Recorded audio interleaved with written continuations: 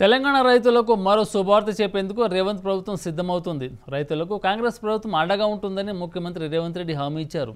రైతుల రుణమాఫీని ఆగస్టు పదిహేను లోపు రెండు లక్షల రుణమాఫీ చేసి తీరుతామని లోక్సభ ఎన్నికల్లో సీఎం ప్రకటించిన విషయం తెలిసింది. అంతకంటే ముందే రుణమాఫీ చేయాలని రేవంత్ భావిస్తున్నారు.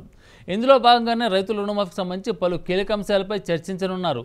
తొందరలోనే రైతులు గుడ్ న్యూస్ వింటారని కాంగ్రెస్ నేతలు ఇప్పటికే ప్రకటించిన నేపథ్యంలో ఆ దిశగా రేవంత్ ప్రభుత్వం అడుగులు వేస్తుంది. ఈ నేపథ్యంలోనే ఈ నెల ఇరవై ఒకటిన కేబినెట్ సమావేశం నిర్వహించనున్నారు.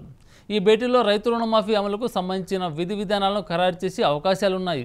రాబోయే ఐదేళ్ళకు సంబంధించిన సంక్షేమ అభివృద్ధి ప్రణాళికలు ఎలా ఉండాలన్న అంశంపై మంత్రివర్గ సమావేశంలో చర్చించనున్నట్టు సమాచారం.